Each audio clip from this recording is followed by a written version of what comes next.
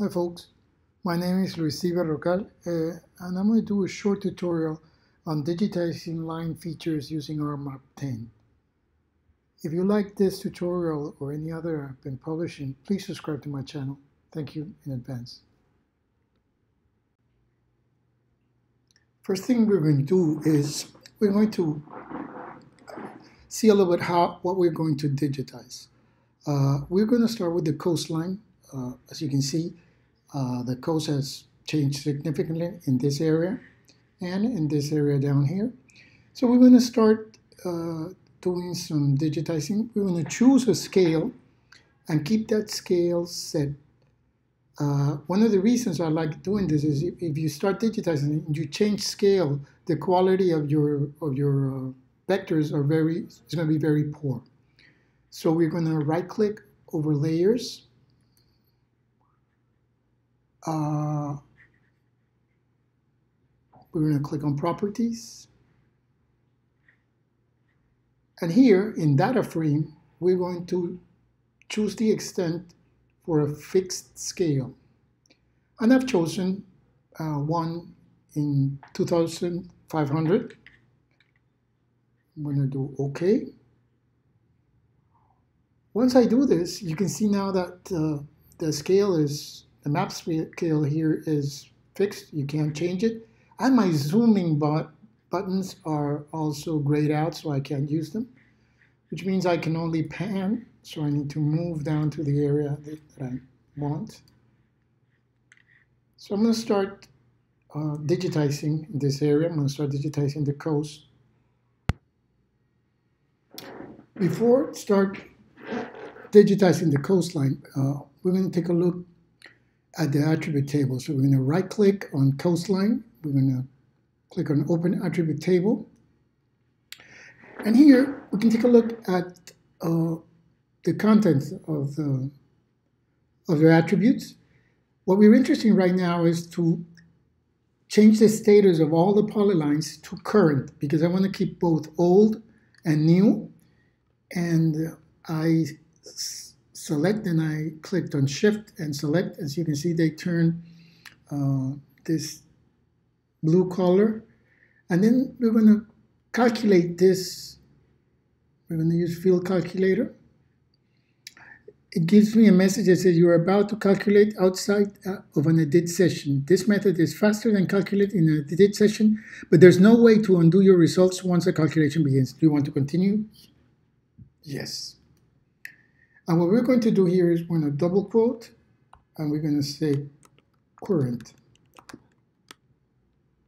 Because but right now this one is current, so we do OK. It's calculating there. And now you can see here that in our status, status all lines have current in their attribute. Now we close our attribute table.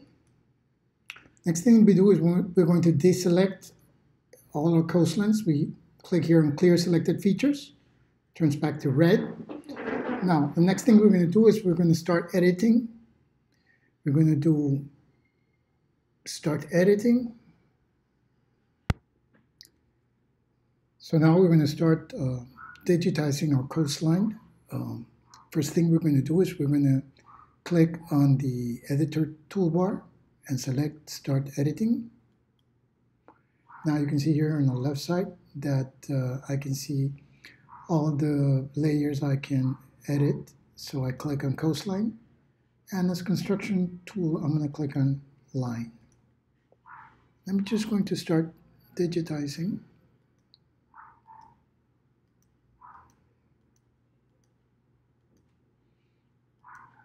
In case I get a right a wrong click, let's say here, and I want to delete, all I do is I stand over the vertex and I click on delete vertex. So I can keep on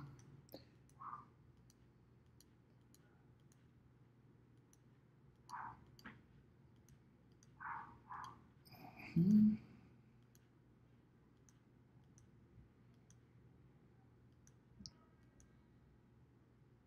I don't like this one. Let me uh, delete vertex again. I'll click here. So I'm going to move along right to the end where I can show you where I end up uh, edit, uh, digitizing the coast. So I'm about to digitize my last point. I'm going to snap it to the area of study. So I'm going to click here. Once I'm ready to finish uh, digitizing, I'm going to right click here and I'm going to click on finish sketch. So now I have this whole line digitized and uh, I'm going to digitize one really small so I can show you the whole process again. I'm going to click again on line. I'm going to go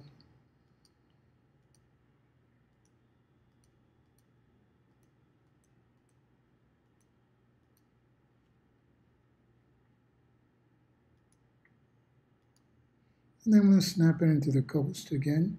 And you can see here, it's I'm looking for a coast, which I think it's right here. Click on it. Then I'm going to right click and I'm going to do finish sketch. What we're going to do now is we're, we're going to click on the editor and do save edits. Just in case something happens, we won't lose what we created. Now, next thing we're going to do is we're going to do some light editing. Uh, we're going to split this line. You can see. Now I want it to be split into two parts so I can uh, give it uh, different attributes. So I'm going to click on split, the split tool, and I'm going to click in the vertex I want, which is here, click. And now when I click, you can see it has split it this line into two parts. Now, next thing we're going to do is we're going to uh, open the attribute table of coastline. And as you can see, the selected one has current. This one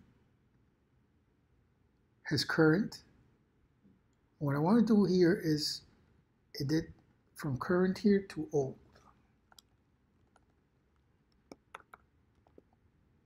Old. And these two, which are the ones I just created, and I know because if I click here, they should be turning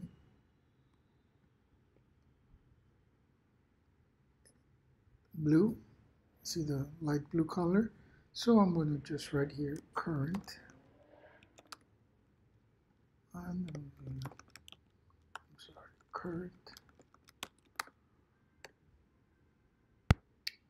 Now we're to close our table in here.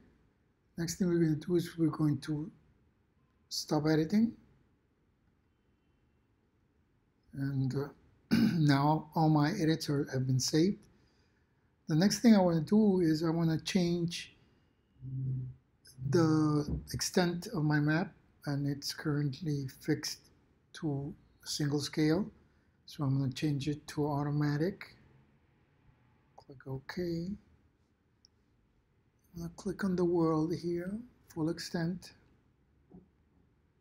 And here, down here you can see the new coastline that I just digitized. And Let's see, we need to do some editing. Let's use the select tool. So as you can see, I also have to split here uh, in order to to get uh, this part which is current and this part which is old, uh, which is pretty much what we did last time, so I'm not going to do it again. Uh, thank you very much, folks. Uh, if you like this video, uh, I would really appreciate if you would subscribe to my channel. Thank you very much.